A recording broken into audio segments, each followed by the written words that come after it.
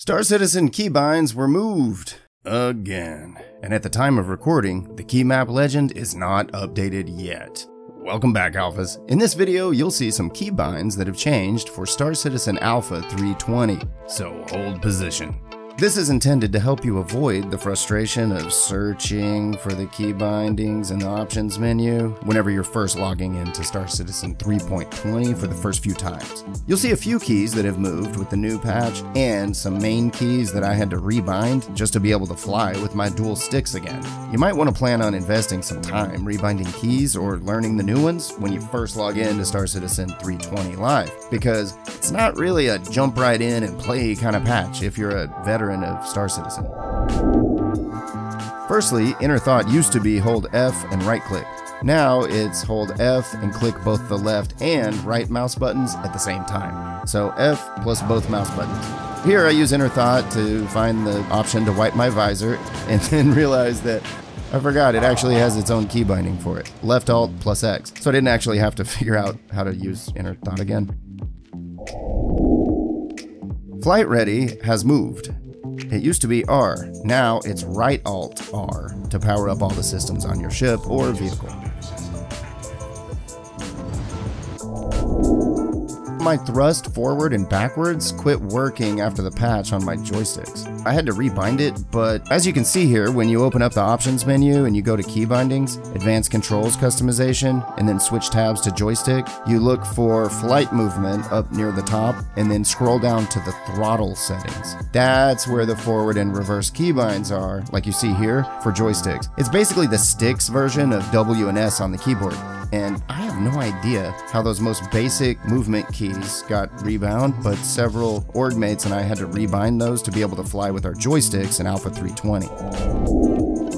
Oh, and if you ever reset everything and you find that your joysticks are reversed, then you can open console by tapping the tilde key, the squiggly line under the escape key on a QWERTY keyboard, and then type pp underscore resort devices, one word, space, joystick, space, one, space, two, enter, and then close console with tilde. And then that will swap your left and right joysticks in the game.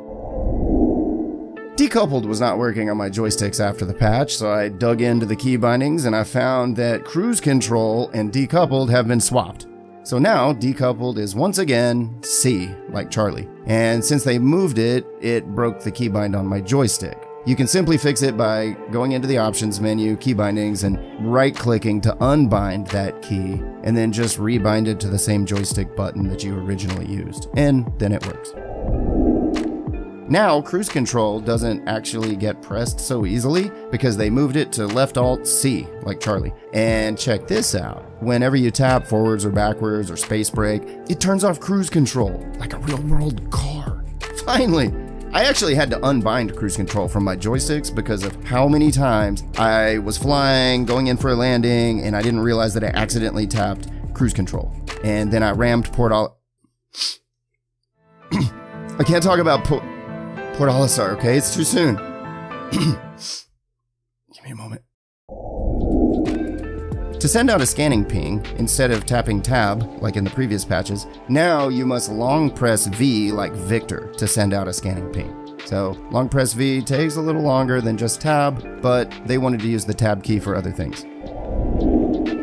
Hey, but if you want to just totally avoid having to figure out which keys to bind what to what, and you just want to download a profile that's already super optimized for dual sticks, check out BuzZzKiller's profile help. He has profiles for Thrustmaster, Virpil, VKB. He's eons ahead of me on this stuff. He's a subscriber of the channel, has been playing Star Citizen for many, many, many years, and he knows his stuff when it comes to joystick setups. So I'll drop a link in the description there if you're interested. And you know, maybe one day I'll save time and just finally switch over to his key bindings as well. And if you found this video helpful, share it to your favorite Discord. Tap that like. Then we'll know to make more tips, tricks, and bug workarounds. Ah. I'm not going to Seraphim. I'm moving to New Babbage.